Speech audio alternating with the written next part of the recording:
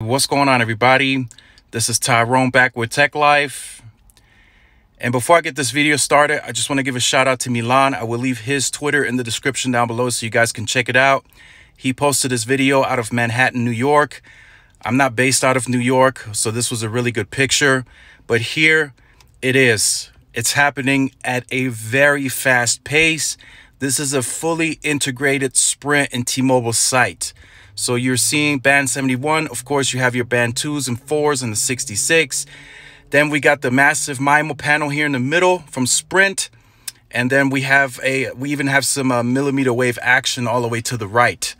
So Neville said it was happening pretty quickly. Uh, people were still skeptic, but now we're actually seeing the physical integration of the cell sites and it's happening at a fast pace.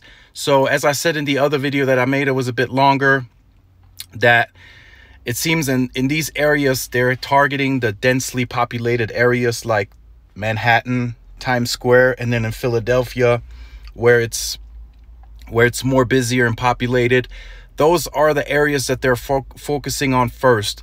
And it seems they've already have the, the permit approvals. I'm tracking one cell site in El Paso that's being heavily worked on that has already been upgraded. So I'm checking to see if that one will have the uh, integration. But it seems they are moving at a very fast pace and some of the cell sites that have been permitted last year to be uh, upgraded to band 71 since those have now been approved and the cell companies I mean, the tower climbers have to go to those cell sites to upgrade it to band 71.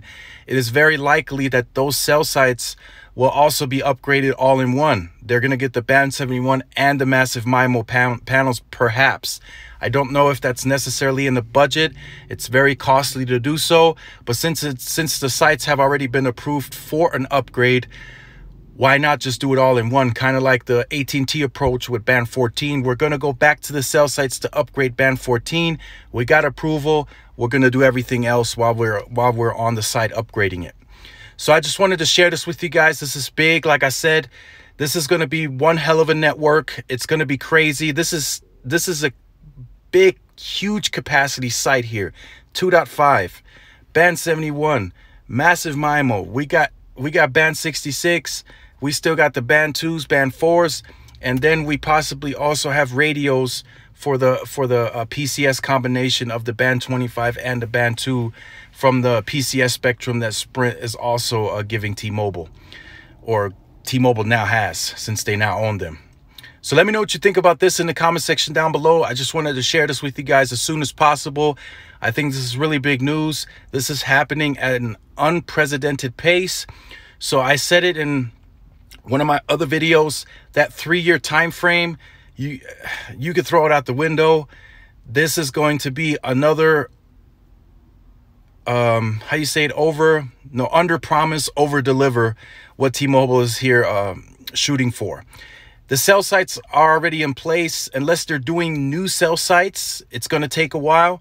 But the sites, the integration themselves, if the site approval has already been approved, it's going to happen pretty quickly. They could probably do this in about at the panel in about 45 minutes. What's what might take the longest from what I'm being told is the baseband unit. They may have to do some additional changes there, but other than that, it's going to happen pretty pretty quickly. So let me know what you think about this in the comment section down below. If you are new to the channel, make sure you like, share, subscribe, hit the notification bell so you are notified when I upload content. If you have if you've been on the channel, you can go ahead and end the video now. But if you are new and you have a Twitter, make sure to follow my Twitter.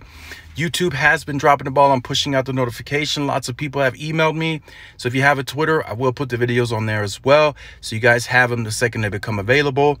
And this is Tyrone with Tech Life, and I will see you guys in the next video. Peace.